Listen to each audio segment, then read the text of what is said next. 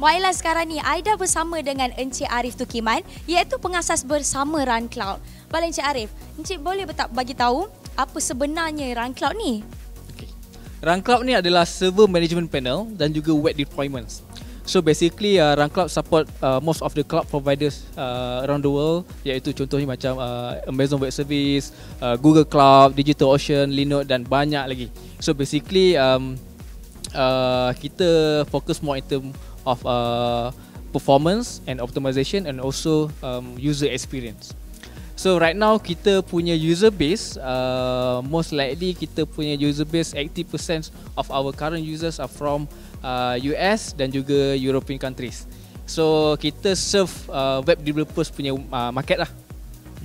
Macam mana tercetusnya idea encik tiba-tiba nak buat Run Cloud ni?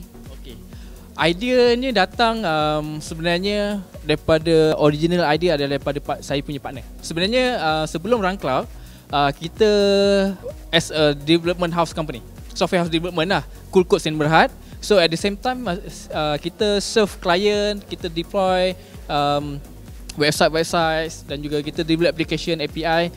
Jadi um, at the same time kita pun uh, develop our own product R&D so dengan daripada saya punya partner CTO uh, dan juga Amir dan kita kita realise bahawa banyak developer hadapi masalah untuk dia orang configure dia punya uh, cloud servers dan juga untuk manage dia punya uh, web deployments. So what, daripada situ kita nampak market untuk developer tu uh, sekarang ni semakin uh, demand dia semakin banyak untuk menggunakan uh, software-software secara uh, subscription tool.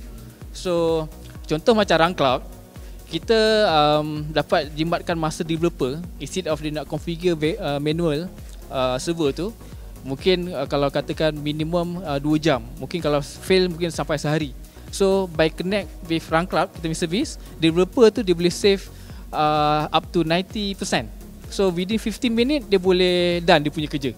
Daripada configuration optimization um, apa semua um, settings and the security semua run cloud yang handle lah settle jadi benda ni kena bayar ke?